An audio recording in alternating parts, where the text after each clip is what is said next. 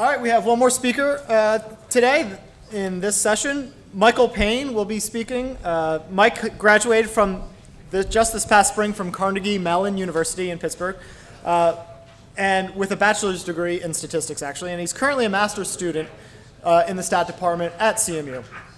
He has strong research inter interest in baseball statistics, clustering in general, and small area estimation. So let's welcome Mike. Thank you.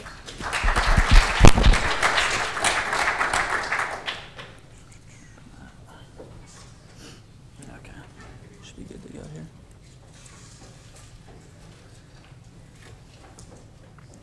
Okay, hi everyone. Um, like uh, you introduced me as um, Mike, and I'm a master's student at CMU.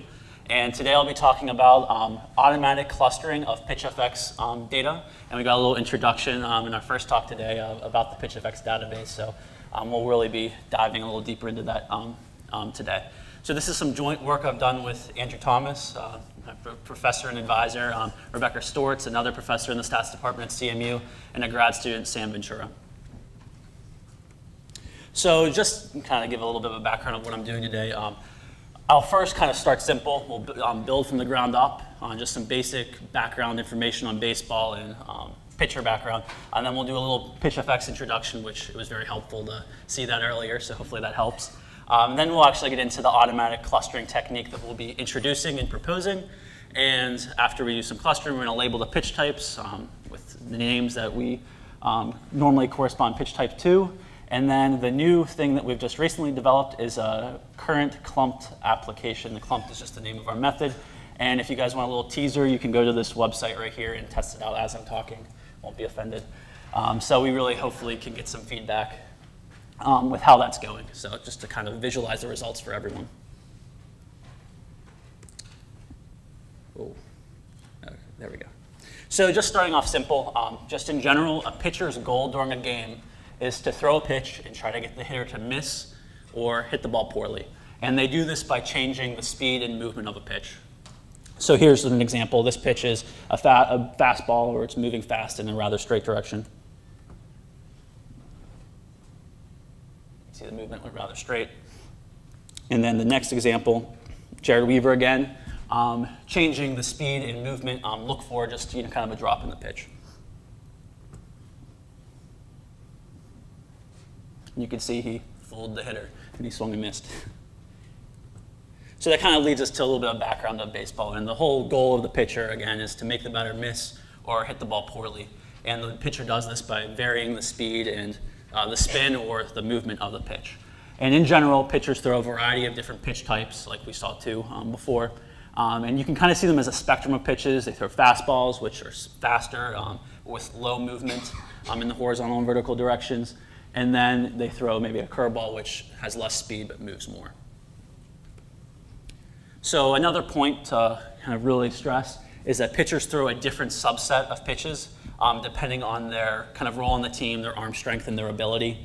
Um, two different types of pitchers in baseball are starting pitchers and relief pitchers. Starting pitchers usually start out the game and throw as long as they can, and relief pitchers come in later and you know, usually throw for shorter amounts of time. Um, two examples are Barry Zito, he's a starting pitcher. He throws five different pitch types. Well, Craig Kimbrel, he's a relief pitcher, he only throws two. So in general, during a game, the pitch type is unknown to the batter. The pitcher during the game determines what pitch he's going to throw you know, every time, and the batter doesn't know what's coming. So as a result, there's no official record, at least publicly, that is recorded of what actual pitch type was thrown. So our whole goal here is to identify this pitch correctly. And why do we do this? Why do we care? Well, if we have this improved data, these improved, you know, that's a fastball, that's a curveball, you can really answer a lot of other baseball-related questions. Maybe, you know, what hitters perform better against um, fastballs or curveballs. Um, maybe you can detect a change in a pitcher's repertoire and predict future injury. Um, there's really a lot of numerous questions you can answer with improved data. And again, kind of stressing the, the types and the, the things the pitcher can control is the velocity of the pitch, and then the side spin, which is the movement of the ball in the horizontal direction. So it kind of be, you can see them as kind of the same thing, side spin horizontal movement. And then top spin, which is the ball spinning in this direction, and it controls the vertical drop. So those are three variables to keep in mind.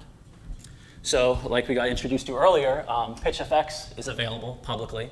So we're able to actually get this pitch by pitch data. And like we saw, it's uh, manually recorded in every stadium, and we have our own version of the database working. Um, there's over 30 variables that you know, vary from velocity, release point, acceleration. And in our particular database, we have data from 2008 to 2013. There's over 1,000 pitchers. Every um, pitcher throws from 100 to thousands of pitches each, uh, depending on how long they were in the league for that span of time. And like we heard earlier, um, Alan Nathan's actually rederived some of these variables. So we've replicated that work, and we have created back and side spin in our database. So here's just an example subset. Um, every row, row, corresponds to one pitch. So you can see Barry Zito, you know, the, the, first row is one pitch that he threw, goes 89 miles per hour, spins with a certain revolution, and then PitchFX itself actually tries to give a label to this. And our whole goal is to improve that label. So just basically, what are we trying to do? We want to identify groups of pitches with similar characteristics using the features of our database. And then after we identify these groups, we want to put a label on top of them, the fastball label or the descriptor of the pitch label. So here's an example of the current MLB neural networks method, or the current um, method that's used in the raw database. And the plot here is a three-dimensional plot of the three variables I was talking about earlier. We have side spin on the um, z-axis, start speed on the x, and then top spin on the y. And in general, let's try to see here. Um, it does an okay job, but there's some obvious misclassifications. Um, in general, right here, this is the fastball cluster, two fastballs right here, the fastball cluster, and you can see that it's labeling some of the fastballs um, sliders, and there's just some obvious mistakes, and it's rather known that this method is imperfect. So something I don't have here is there actually is a really good current method um, run by Brooks Baseball and they actually manually label every single pitch. So every single day, they go in and look at the PitchFX data and manually label every pitch, and that's a whole lot of work. And um, they'll do some things from look at high resolution pictures, picture, pictures of a pitcher's grip to try to see, oh, was that a curveball, was that a slider? And they also will talk to a pitcher to say, hey, what did you just throw?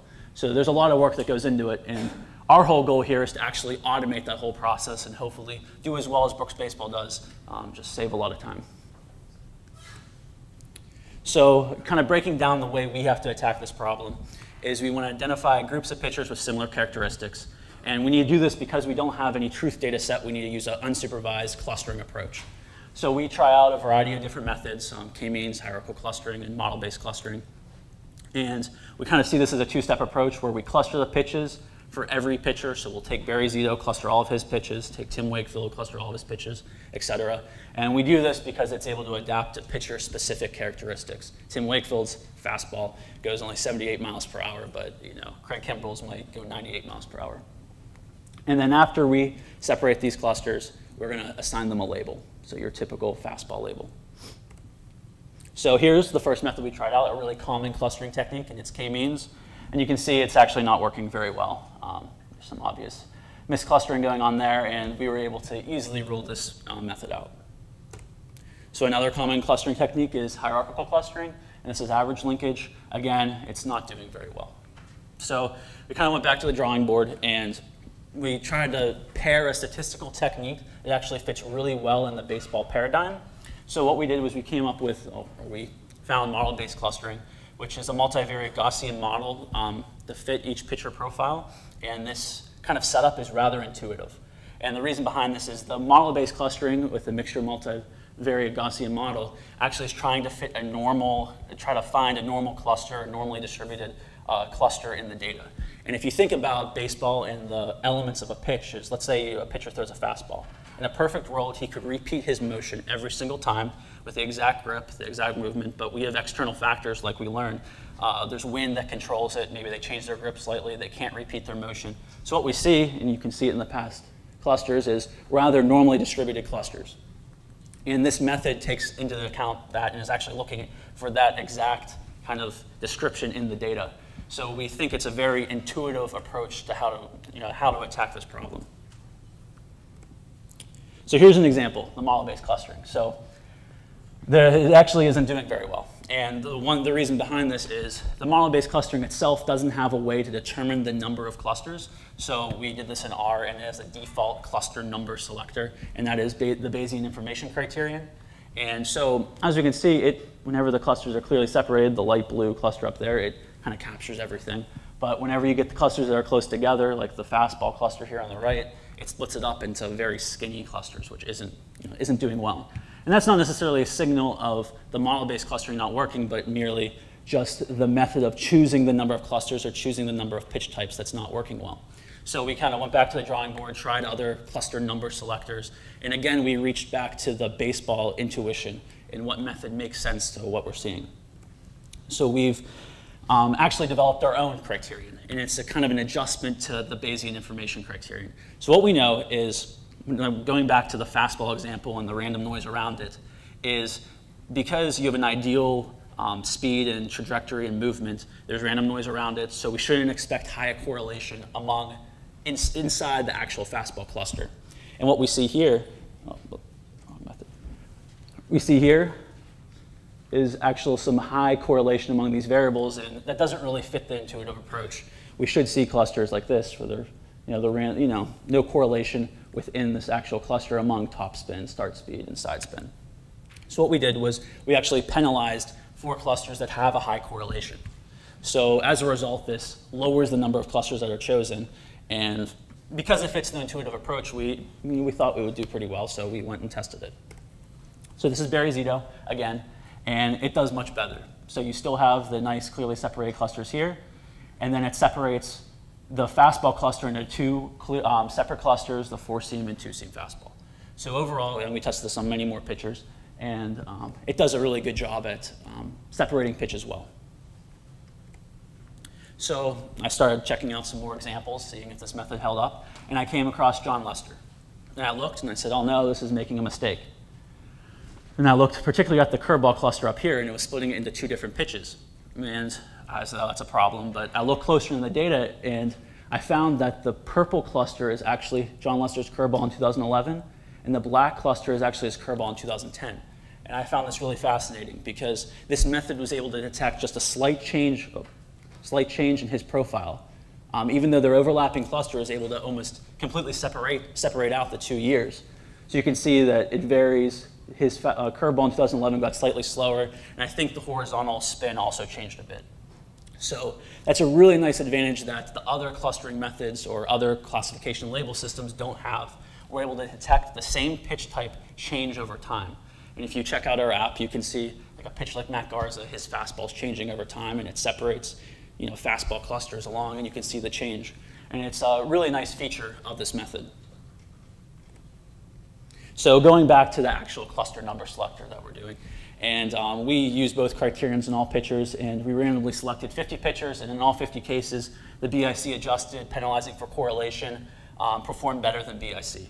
And BIC you know, really just blew up the number of pitches they sent a pitcher through, and not very accurately.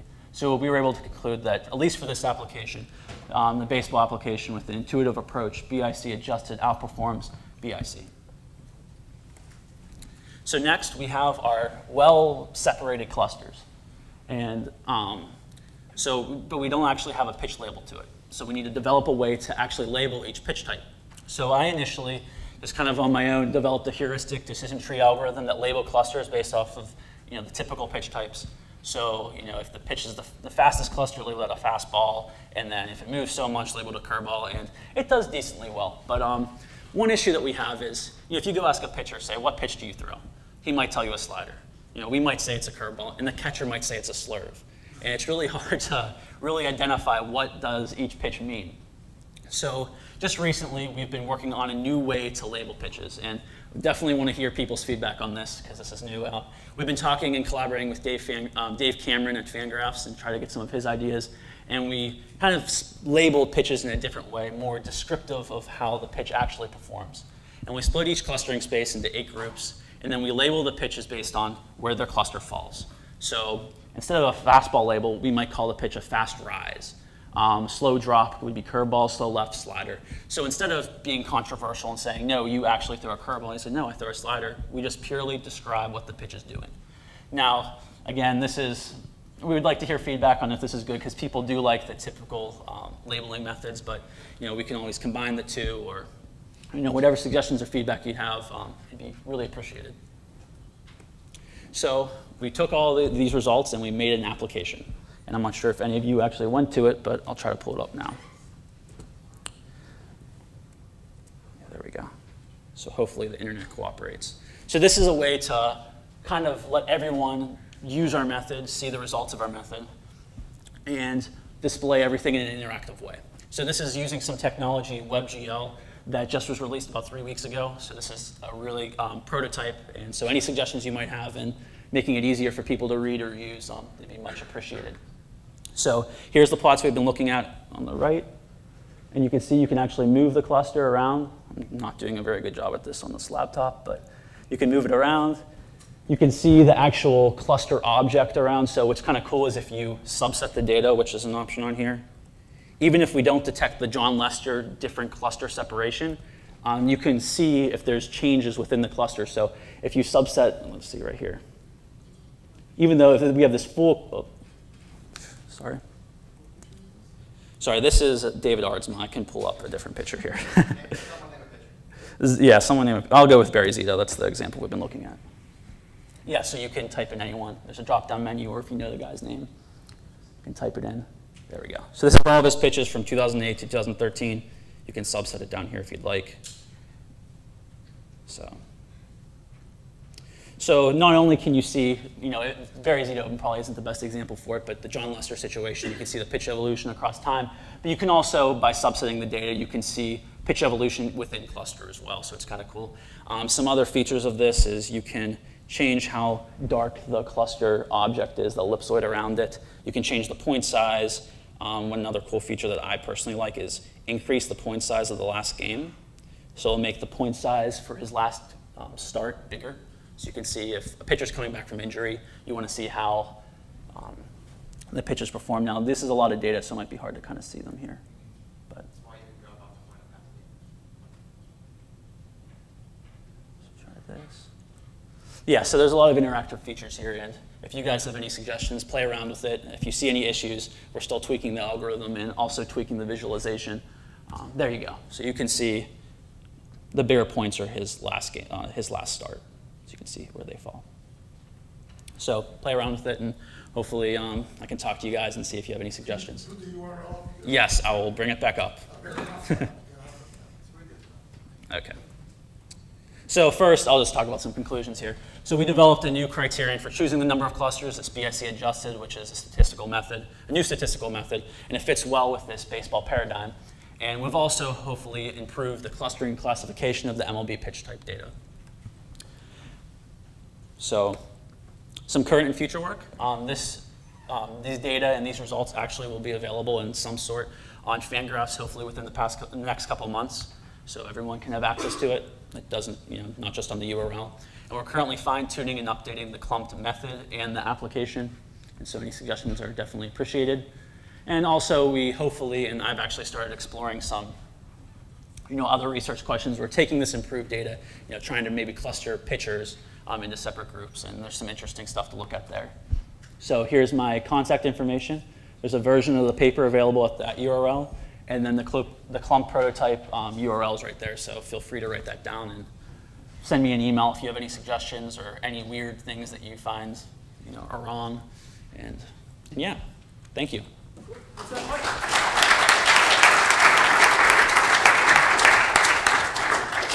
Time for a couple questions. Let's start over here on the right. Given the previous presentation, how does this do handling knuckleballs? Knuckleballs. Oh, yeah, we can actually pull that up probably. So, what's interesting is it actually, I think, splits up the knuckleballs into three different groups and three different types of knuckleballs, which we thought was rather interesting. Thank you. Langfield was throwing two different speed knuckleballs. Yeah, yeah, that's kind of how it separates it. But if you just cluster one of his years, you'll just get one really large cluster. Um, it's actually in the paper. Um, here we go. This might be a little hard to see.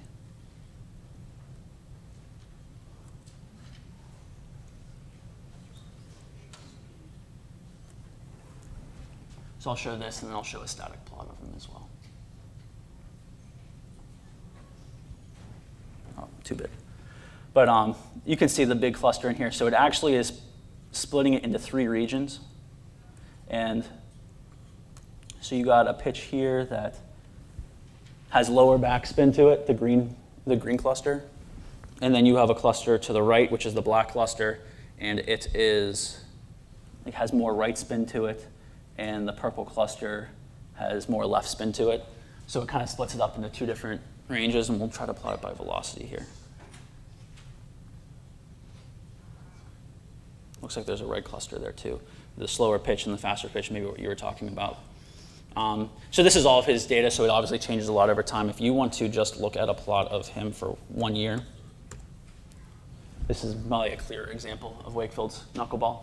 Um, it handles high variance as well, but um, if you want to detect those subtle differences in the knuckleball, you can enable to do that. Or if you like the more classical approach, you can you know, take this. So it handles high variance clusters rather well. Time for one more question. Do you know if there's any um, variation in pitch FX data for like a fastball based on the count? So if I'm, if I'm trying to waste a pitch outside versus trying to strike something out, is that going to have a difference in characteristics? Um, I see these two different fastballs. Yeah, so I mean, in order for it to be labeled as a completely separate cluster, if you have a, um, a substantial amount of data, you're going to have to have a lot of pitches that are complete waste pitches. Um, it usually does a really good job at capturing the outliers around it. So if you have a fastball cluster, it's still going to have, it might be out in the one corner, but it can capture that pitch rather well. It's never, I haven't seen an example where it makes it its own cluster. Um, yeah, but it, it does a rather good job at handling waste pitches. All right. Well, let's thank Mike again.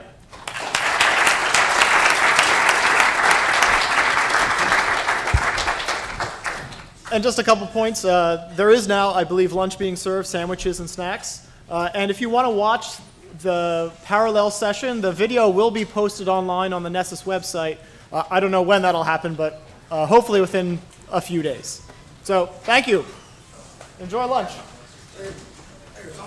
Yeah. You're obsessed with the same thing I am. Um, I'm Eric Dillon, I'm the chair of the Science and Baseball Committee SABR.